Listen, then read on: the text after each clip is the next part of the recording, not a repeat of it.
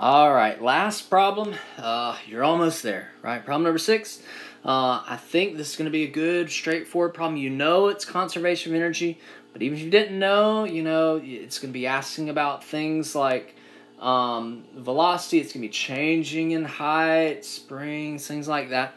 All right, so we got a four foot slender bar, weighs 40 pounds, center of mass at B. It's released from rest in position for which theta is virtually zero. Now, these problems, it's sometimes it's hard to tell where it starts and where it ends. Uh, theta right here is this angle right here. Uh, and so it virtually basically starts right here at a vertical position. Uh, make sure you can visualize where it starts and where it ends. Uh, point B has to confine to move along a smooth vertical uh, guide. Point A moves along this guide. Uh, determine, okay, so first we're, we're not going to determine the angular velocity at theta is equal to z theta is equal to 30. Uh, we're just only going to do one of these. We're going to find the velocity that when B strikes the horizontal surf surface uh, when B gets all the way down to here. So here is its final position. Its final position is going to be down here. Right here is its final position. All right, initial position is that pink vertical position. Final position is this at the very bottom blue um, kind of horizontal position. Okay, conservation of energy. Potential plus kinetic plus non-conserved work equals potential plus kinetic. And now that we have rigid bodies, uh, each of these terms could have two different terms, right? The potential energy due to gravity, the potential energy in a spring. The linear uh, kinetic energy and rotational kinetic energy. The non-conserved work done by force and the non-conserved work done by a moment. And here is the gravity, spring, linear, rotational, final, right? These two are initial, these two are final. The initial energy plus any non-conserved work uh, leads to the final energy. Okay, and I kind of like to write out this whole equation, but you might not like to do that. Um, so I'm going to say the mgh plus 1 half kx squared plus 1 half mv squared plus 1 half i omega squared plus fd plus m theta equals all of the final mgh the final 1 half kx squared, the final 1 half mv squared, and 1 half i omega squared. Then I remind myself, this is the height of point G, the velocity of point G, the I of point G. The height of point G, the velocity of point G, the I of point G. All right, but a lot of things will go to zero. If there was no spring, we wouldn't have to worry about it. I think we do have a spring here, right? We do have a spring here that might be getting compressed. Um, it started from rest. It started from rest. So both the 1 half mv squared and 1 half i omega squared initially are 0. Are there any external forces or external moments, moments that are drawn on there, forces that are drawn on there, or a rope, a cable that is acting a certain distance? No, we don't have that right here. Okay, so all right, here we go. So let's start thinking about these MGH, 1FK. Let's think about these terms right here. MGH, when it is at its, its, its initial point, where is point G? Point G is uh, 24 inches from, I think I want to call this zero, right? Does that make sense? Let me call this zero. It ends at a height of zero. It starts at a height of 24 inches. I could keep inches, but then everything would need to be in inches. And a few things are in inches. Maybe I should choose inches. If I choose inches, then my gravity would have to be in inches, uh, not feet. Uh, I'm going to choose feet mainly because I'm, I'm probably going to choose 32.2 feet per second squared. I'm going to use it eventually, maybe.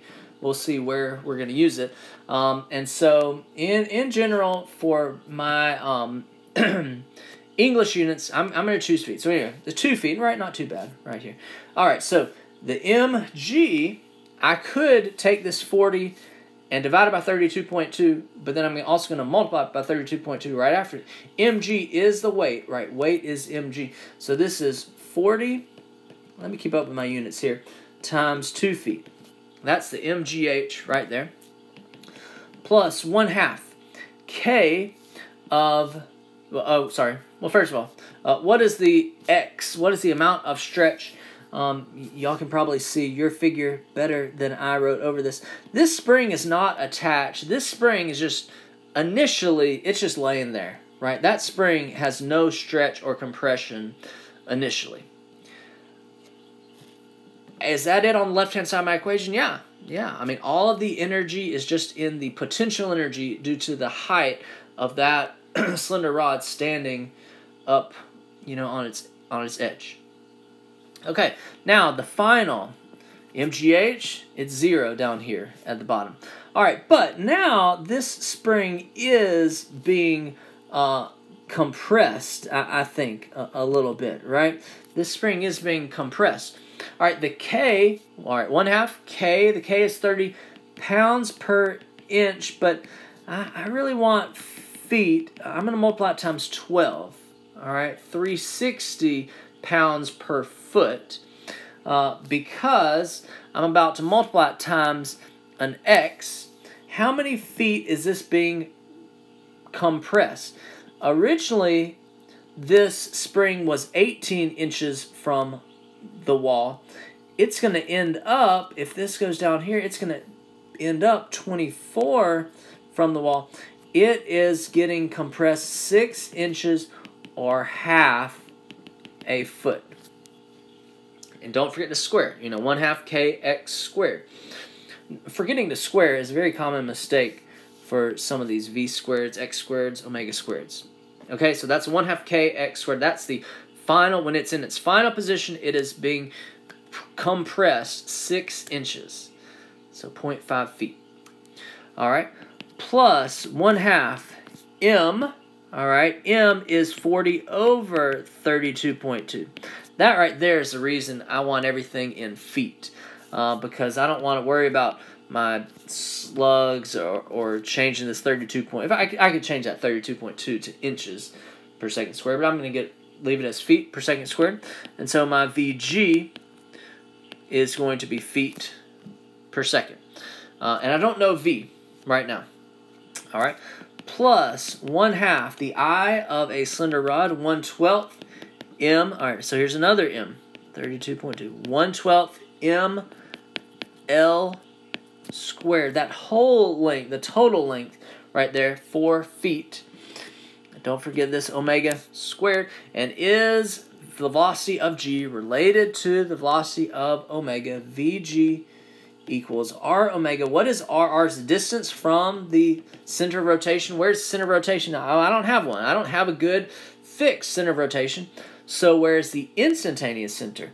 This is going down. This is going over. So I draw... I draw my dotted lines and right here at the edge of this, where point A is, right here, here's the instantaneous center. This is point B is 24 inches or 2 feet away. So I'm going to plug in 2 omega right there.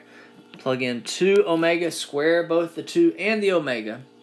And then I only have one unknown, omega that I can solve for. 3.25 radians per second. Just radians per second, right? Yeah.